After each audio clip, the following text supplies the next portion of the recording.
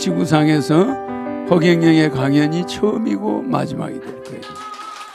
내가 남기는 이 유산은 인류가 지금까지 어떤 과학자나 종교 지도도 해결하지 못한 영적인 인류의 미래, 인류의 사후에 가는 곳, 그리고 그곳의 생활, 모든 것이 다 여기에 담기게 돼 있어요. 그렇기 때문에 이 영적 유산은 우리 한반도에서만 나올 수가 있고 아주 훌륭한 지혜는 인간들은 못 알아본다.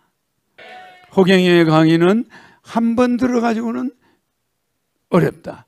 자꾸 자꾸 쭉 체계적으로 들어야 된다.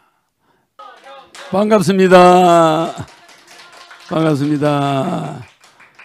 해외 750만 동포와 우리 5천만 국민 여러분 이렇게 비대면 강의를 또 오늘 이렇게 1294회 강의를 어, 여러분들이 앞에서 하게 된 걸 영광으로 생각합니다.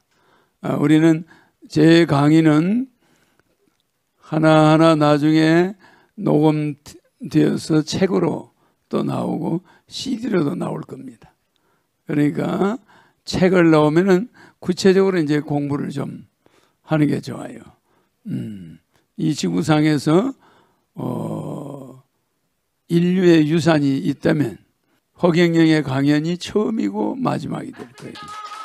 음, 지금까지의 인류의 유산은 하나의 음, 문화의 유산, 그러니까 육적인 유산, 눈으로 보이는 육적인 유산이고 내가 남기는 이 유산은 인류가 지금까지 어떤 과학자나 종교 지도도 해결하지 못한 영적인 인류의 미래, 인류의 사후에 가는 곳, 그리고 그곳의 생활, 모든 것이 다 여기에 담기게 돼 있어요.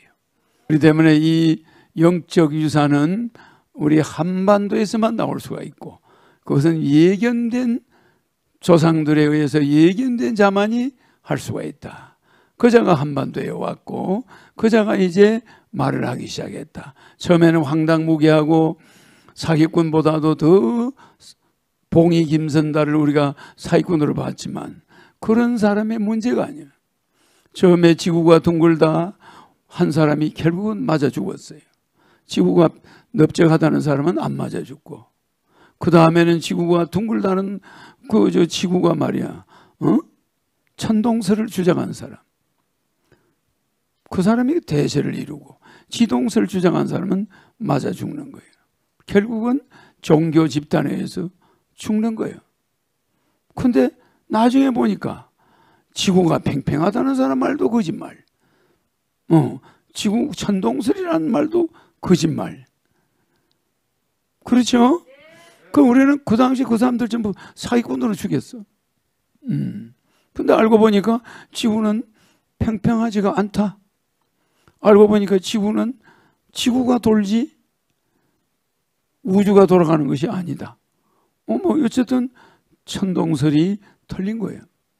지동설이 맞다. 그럼 우리는 여기서 뭘 깨달아야 되냐? 아주 훌륭한 지혜는 인간들은 못 알아본다. 아, 그래서 내 것을 여러분한테 설명할 때 단계적으로 강의를 하고 있다는 거 명심해 주기 바랍니다. 알겠죠? 호경영의 강의는 한 번 들어가지고는 어렵다.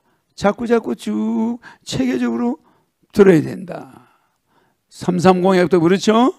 공약 하나만 가지고 우리나라 구할 수 있나? 안 되죠?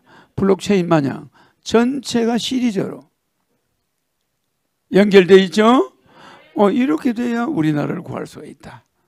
알겠죠? 그래서 내 강의는 뭐 당장 이해가 안 가더라도 연결돼 있다. 그걸 뭐라고 그러죠? 메커니즘이 연결돼 있죠? 시리즈로. 그거를 이해하셔야 돼. 알겠죠?